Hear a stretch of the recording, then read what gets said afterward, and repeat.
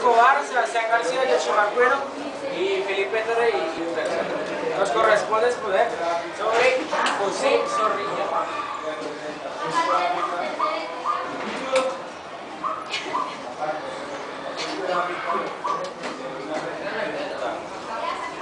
José Zorrilla nació en, Valladolid, España, en el año 1817.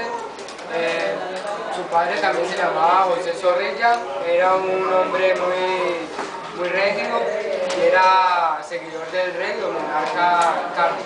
Su madre de apellido Moral era una mujer muy, o sea, muy sentimental y, era maltratada por el marido.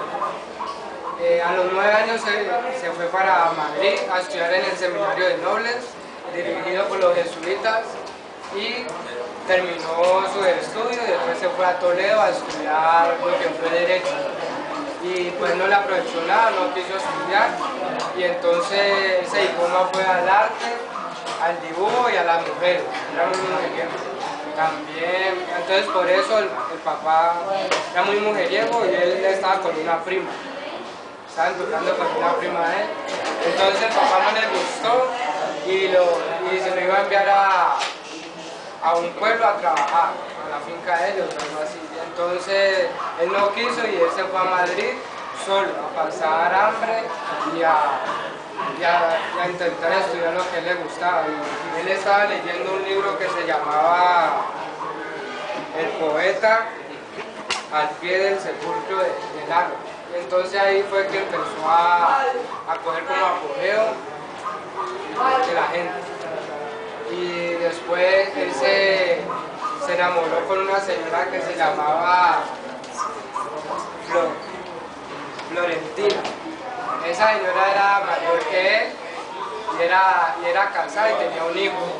Ese hijo no lo quería él y siempre pues la relación de ellos iba mal por él y por la mamá de él que no la quería ella y el papá no aceptaba esa relación.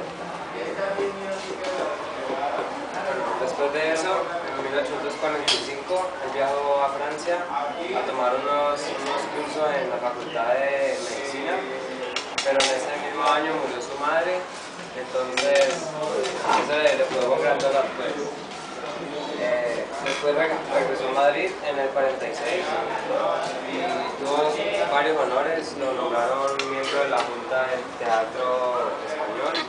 Eh, en la Real Academia. Pero en el 1849 murió su padre y eso le dejó un gran peso en la conciencia porque no lo había perdonado lo de la, lo de la viuda que se había, había escapado con ella y también le dejó muchas deudas.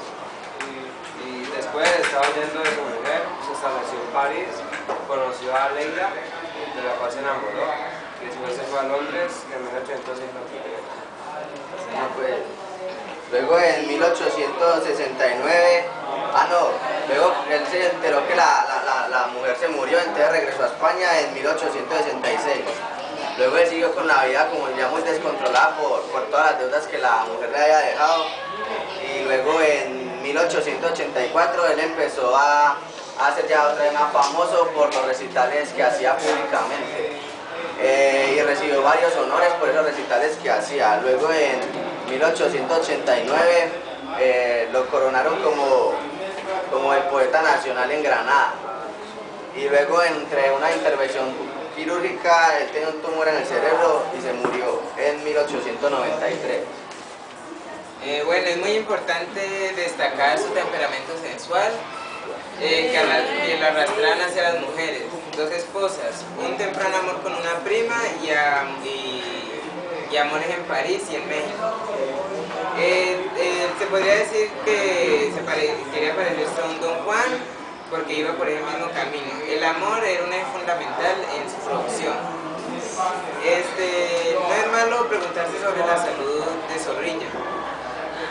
En cierta altura de su edad, en efecto, hizo un doble, lo cual eh, lo llamaron Cuentos de un Loco en 1853, eh, que aparece casi obsesivamente después.